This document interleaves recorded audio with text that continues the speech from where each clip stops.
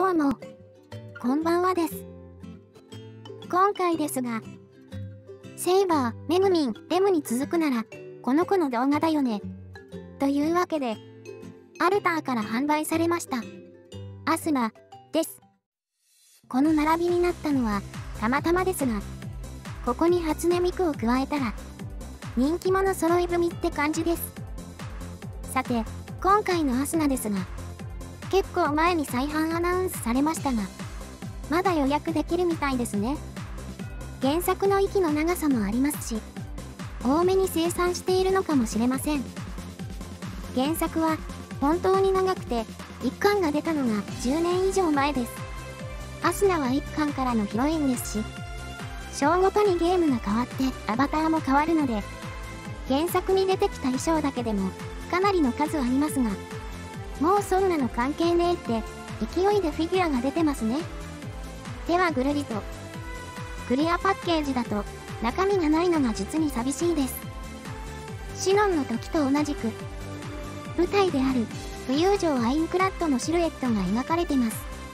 超久しぶりにこの箱触りましたが、よれとかはないですね。蓋が盛り上がっているのは、1回だけしか開けてないので、折り目がきちんとついてないせいでしょう。では、中身を見ていきましょう。SAO 最初のヒロインであるアスナだけに、原作中に出てきたアバターだけでも、思い出すのに難儀するくらいの数がありますが、真っ先に浮かぶのは、やはりこの姿ではないでしょうか。章ごとにマドンナ的ポジションが変わる SAO ですが、アスナがそのポジションにいた時の服ですから、当然といえば当然だと思います。故に、フィギュアも、この血明騎士団の姿が多いですね。バリエーションも豊かで、剣を構えているスタンダードなものもあれば、ニーソックスを履いてるフィギュアが何個もあったりと、他のマドンナたちが羨むような状態になってますね。アスナで見ないのはディアベルハンの時の初期装備的な地味な衣装くらいですかね。ああいう旅人の服的なのもいいと思うんですけどね。その服の次に着ている血明騎士団副長のアバターも、実はフィギュアでは見たことないですね。場面で言うと、昼寝してたところで着てたアバターですね。このフィギュアのアバターが最終形態で、一番フィギュアで目にするランベントライトとブラッディクロスを装備したアバターですね。この3つはデザイン的にも似ているところがあるので、前段階の2つがフィギュア化されてないのも意外な感じです。この最後のアバターが最も華やかではありますが、この姿のアスナは結構な数のフィギュアが出ているので、1個か2個くらいは前のバージョンで出ててもいいのになぁと思ったりもしますね。さてさて、このアルターアスナですが、全体で見たらさすがのクオリティです。グラデ塗装も全体に及んでいますし、細い線も綺麗に引かれていますし、鎧やベルトも縁と中とで違う塗り方がされていたりと、とても細かくよくできています。アスナの言った髪だったり、言った髪に締められて、一旦まとまってから毛先にかけて広がるアスナの髪の特徴もよく出てますね。フィギュアになるまでは全く気にしませんでしたが、腰についてる鞘が結構太いんですね。アスナは再建使いのイメージだったので、ちょっと意外な鞘でしたね。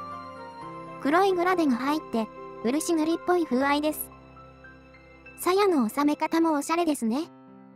腰を締める、鎧と同じ色のベルトに、刺してる感じですね。こういった小物類も綺麗に塗り分けられてますね。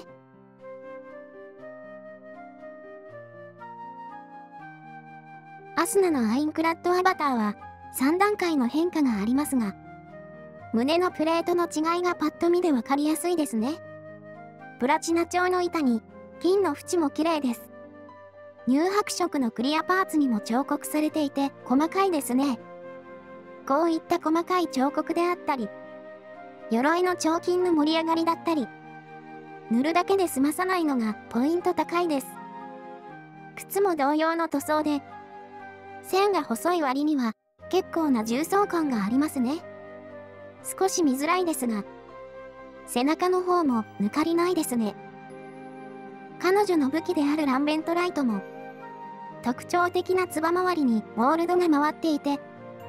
大変よろしいですし、一番押したいのは、つばについたクリアパーツですね。こういうところを安易に塗装で済まさない。私がアルターの製品を好きな理由が、模型的な見栄えの良さに直結する部分を、手を抜かないぞって姿勢が垣間見えるからですね。髪は上から見ると流れがよくわかります。マントやスカートとも連動していて、下半身の進行方向に動いている感じですね。塗装は光の当たる頭の上はハイライトで、密度の高いところは濃く、軽くしたいところは明るくって感じです。紙束の一つ一つが細かく分かれていますが、アスナの癖っ気がよく出てますね。全体的に見て、とっても綺麗なフィギュアだと思います。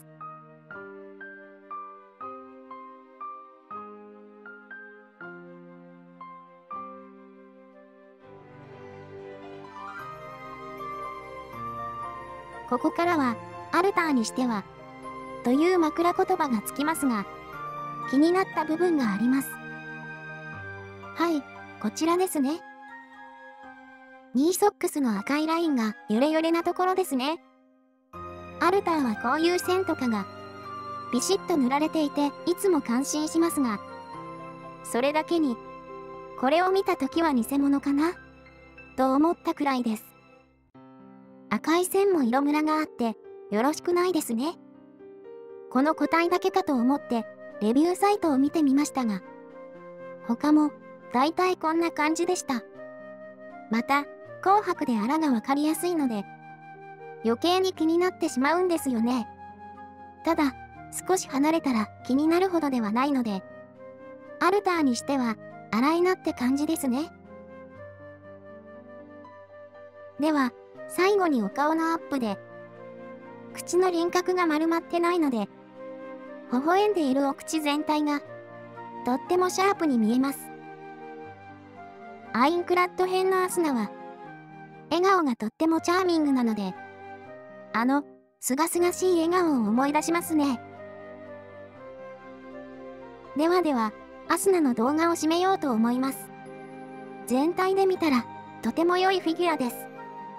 7分の1で揃えるのなら、私は、このアスナを選びますね。SAO のフィギュアは充実のラインナップなので、7分の1でも8分の1でも、いいものが揃いますね。アスナは、今後も色々な展開がありそうですし、抜けているアインクラッド初期のアバターとかも出てくるかもしれませんね。まあ、個人的には、1ラインくらいリズベットとか、フィギュア的に不遇なキャラに分けてほしいな。なんて思ったりもしますが、なかなか難しいんですかね。それでは今回はこの辺で。ここまでご視聴ありがとうございました。また覗いてくださると嬉しいです。